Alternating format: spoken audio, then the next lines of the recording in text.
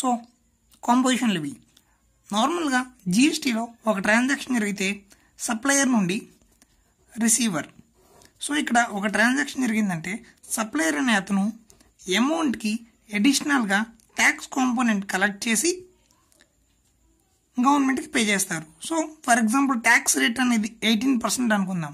So అమౌంట్కి అడిషనల్గా ఈ ఎయిటీన్ పర్సెంట్ అనేది కలెక్ట్ చేసి గవర్నమెంట్కి ఎయిటీన్ పర్సెంట్ అనేది పే చేస్తారనమాట బట్ ఈ కాంపోజిషన్ లెవీ స్కీమ్లో ఈ ఎయిటీన్ పర్సెంట్ బదులుగా it is replaced with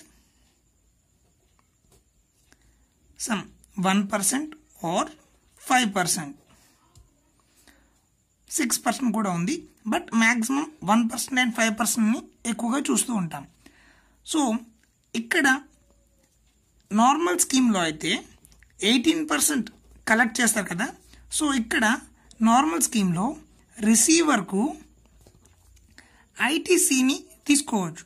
so ఇక్కడ ఏదైతే ఎయిటీన్ పర్సెంట్ సప్లయర్కి పే చేస్తున్నాడో దాన్ని ఐటీసీ కింద క్లెయిమ్ చేయొచ్చు అనమాట బట్ ఈ కాంపోజిషన్ స్కీమ్లో రిసీవర్ అనే అతను ఈ ఎయిటీన్ పర్సెంట్ పే చేయరు.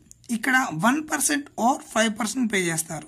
సో ఈ పే చేసిన అమౌంట్ అనేది ఐటీసీ అలౌ చేయరు. సో ఇతను ఏదైతే అమౌంట్ ట్యాక్స్ ఫామ్లో పే చేస్తున్నారో it's form part of cost అనమాట ఫార్మ్స్ కాస్ట్ సో అడిషనల్గా ఎంతైతే one percent or five percent pay చేస్తున్నారో అది రిసీవర్ పాయింట్ ఆఫ్ వ్యూలో అడిషనల్ కాస్ట్ అవుతుంది అన్నమాట. సో దాన్ని ఎటువంటి ఇన్పుట్ ట్యాక్స్ క్రెడిట్ అనేది అవైల్ చేసుకోవడం పాసిబుల్ అవ్వదు.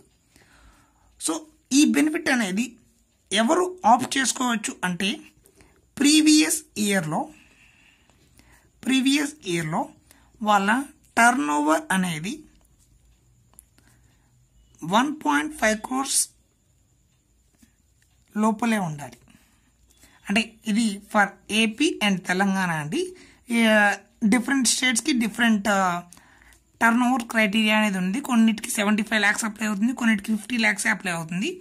సో మీది కనుక ఏపీ అండ్ తెలంగాణ కాకుండా ఉంటే కామెంట్ సెక్షన్లో కామెంట్ చేయండి. నేను దాని టర్న్ ఓవర్ ఎంత అనేది మెన్షన్ చేస్తాను. సో ఏపీ అండ్ తెలంగాణకు one point five crores apply అవుతుందన్నమాట. ప్రీవియస్ ఫినాన్షియల్ ఇయర్లో మీ టర్న్ ఓవర్ కనుక వన్ పాయింట్ ఫైవ్ క్రోర్స్ కంటే టర్న్ ఓవర్ తక్కువే ఉంటే మీరు ప్రజెంట్ ఫినాన్షియల్ ఇయర్లో ప్రజెంట్ ఫినాన్షియల్ ఇయర్లో ఈ కాంపోజిషన్ స్కీమ్ని ఆప్ట్ చేసుకోవచ్చు అన్నమాట. సో బ్రీఫ్ ఏంటంటే మన బిజినెస్లో previous financial year turn over కనుక వన్ పాయింట్ ఫైవ్ క్రోర్స్ లోపల ఉంటే AP and Telangana present financial ఇయర్లో మనం కాంపోజిషన్ స్కీమ్ని ఆప్ట్ చేసుకోవచ్చు.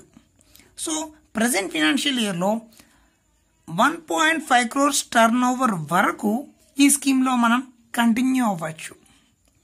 ఒకవేళ one point five crores turnover cross అయింది అంటే మనం క్రాస్ అయిన డేట్ నుండి నార్మల్ స్కీమ్లోకి కన్వర్ట్ అయిపోవాలి అన్నమాట. సో ఈ కన్వర్షన్ క్రైటీరియా అనేది సపరేట్గా ఉంటుంది. నేను అది డిస్కస్ చేస్తాను. సో ప్రజెంట్ కాంపోజిషన్ స్కీమ్ అనేది మనం ఆప్ట్ చేసుకోవాలి అంటే ప్రీవియస్ ఫినాన్షియల్ ఇయర్లో టర్న్ ఓవర్ అనేది వన్ పాయింట్ ఫైవ్ క్రోర్స్ లోపలే ఉండాలి. ప్రజెంట్ ఫినాన్షియల్ ఇయర్లో up to one point five crores వరకు మనం ఈ కాంపోజిషన్ స్కీమ్ అనేది ఆప్ట్ చేసుకోవచ్చు. సో మనం కనుక కాంపోజిషన్ స్కీమ్లో ఉంటే మనం నార్మల్గా ట్యాక్స్ ఇన్వాయిస్ ఇష్యూ చేస్తాం కదా. సో ఇక్కడ ట్యాక్స్ ఇన్వాయిస్ ఇష్యూ చేయకూడదు కాంపోజిషన్ స్కీమ్లో ఉన్నప్పుడు. బిల్ ఆఫ్ సప్లై అనేది ఇష్యూ చేయాలి అన్నమాట. అండ్ ఈ కాంపోజిషన్ స్కీమ్ అనేది కొంతమందికి అప్లై అవ్వదు. So ineligible ineligible for composition levy ఇది నేను సపరేట్ వీడియోలో డిస్కస్ చేస్తాను. సో వీళ్ళకి వన్ పాయింట్ ఫైవ్ క్రోర్స్ లోపల టర్న్ ఓవర్ ఉన్నా కానీ ఈ పర్సన్స్కి అప్లై అవ్వదు అన్నమాట. సో ఆ లిస్ట్ అనేది నేను సపరేట్గా వీడియోలో కవర్ చేస్తాను. అండ్ ఇక్కడ one point five crores turn ఓవర్లో మనం ఇంట్రెస్ట్ కానీ డిస్కౌంట్ కానీ ఏదన్నా ఉంటే ఇంక్లూడ్ చేయకూడదు అన్నమాట. So this one point five crores turnover shall not include interest and discount interest and discount అనేది వన్ పాయింట్ ఫైవ్ క్రోర్స్లో ఇంక్లూడ్ చేయకూడదు. అండ్ ఈ ఇందాక one percent and five percent అనేది రేట్స్ చెప్పాను కదా.